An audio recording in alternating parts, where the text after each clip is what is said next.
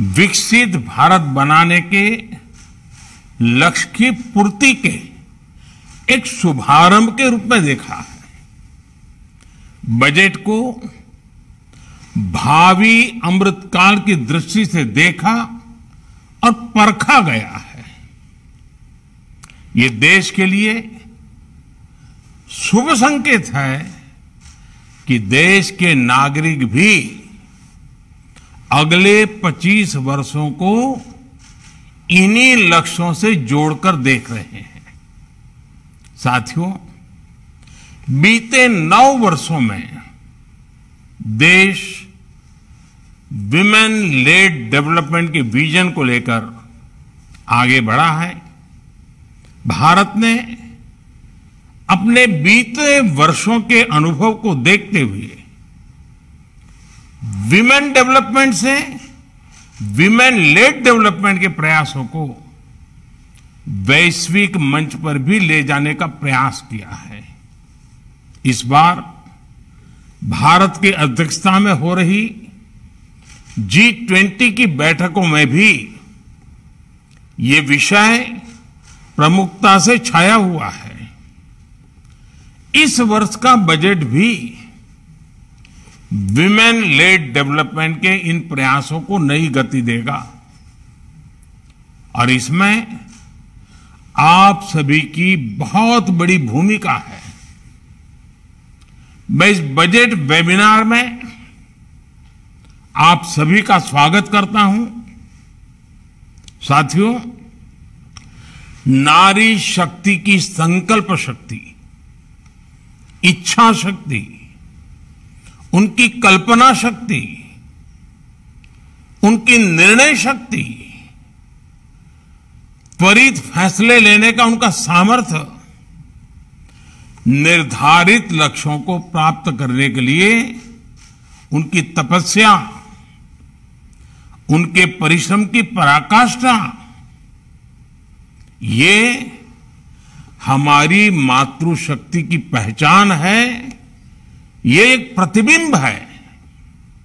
जब हम women led development कहते हैं, तब उसका आधार यही शक्तियाँ हैं।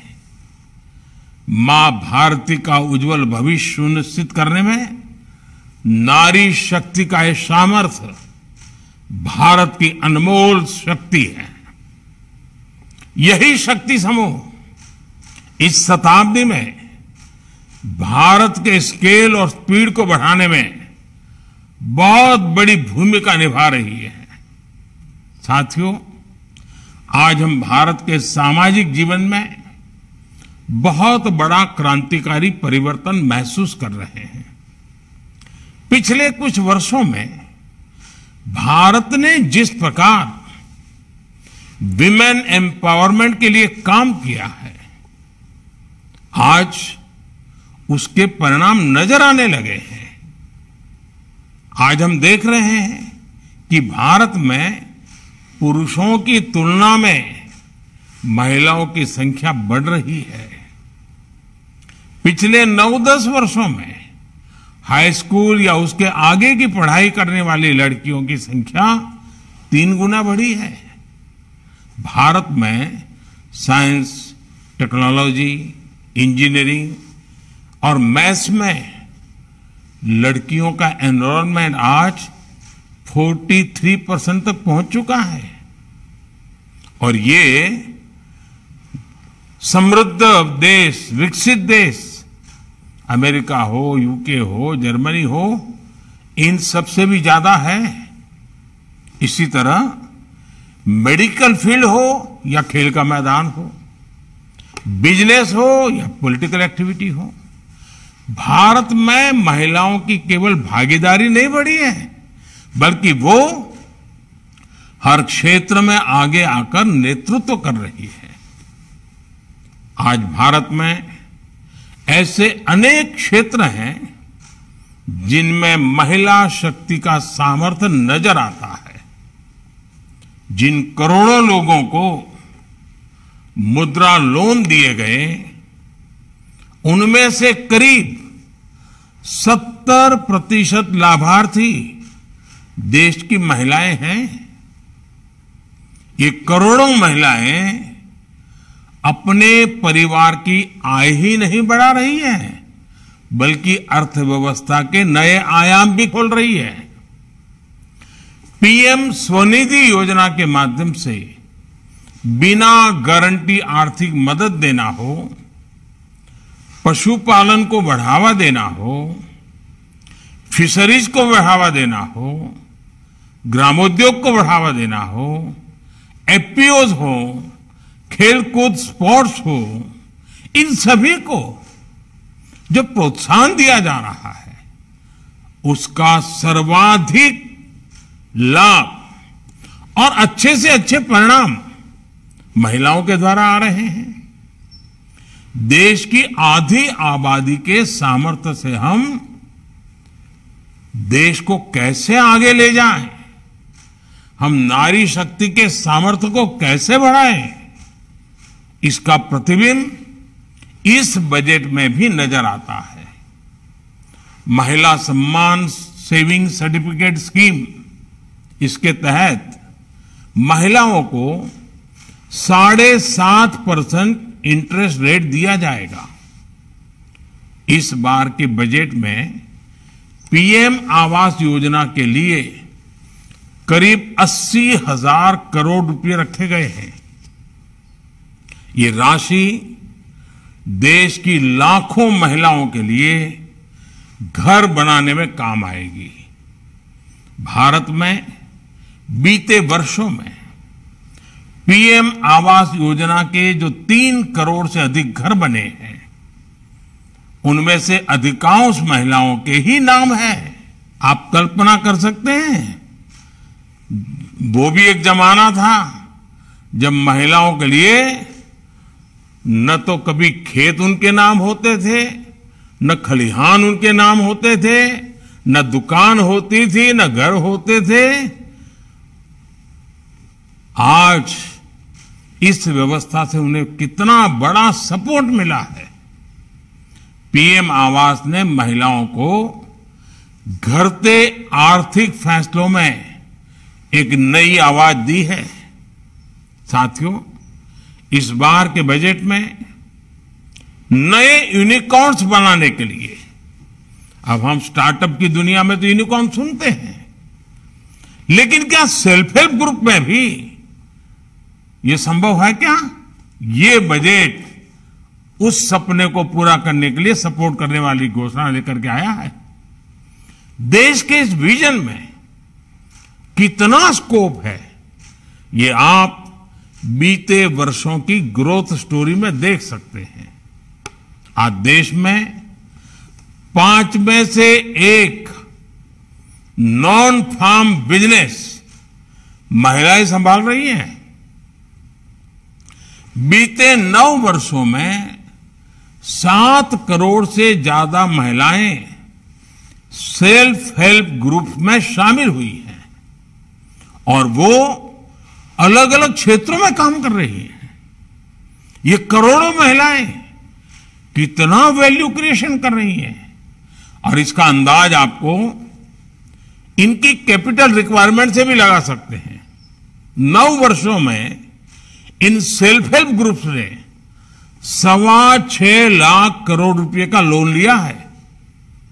ये महिलाएँ केवल छोटी एंटरप्रेनर ही नहीं है, बल्कि एक ग्राउंड पर सक्षम रिसोर्स पर्सन का काम भी कर रही है।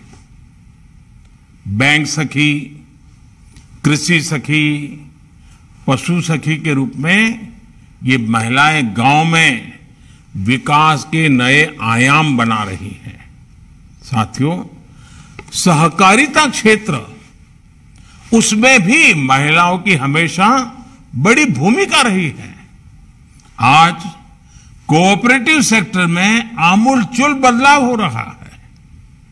आने वाले वर्षों में दो लाख से ज़्यादा मल्टीपर्पज कोऑपरेटिव, डेयरी कोऑपरेटिव और फिशरीज कोऑपरेटिव बनाए जाने वाले हैं।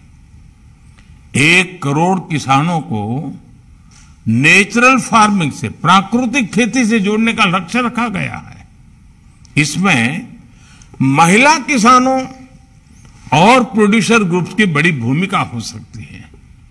इस समय देश ही नहीं, पूरी दुनिया में मिलेट्स यानी श्री अन्न को लेकर जागरूकता आ रही है, उनकी डिमांड बढ़ रही है।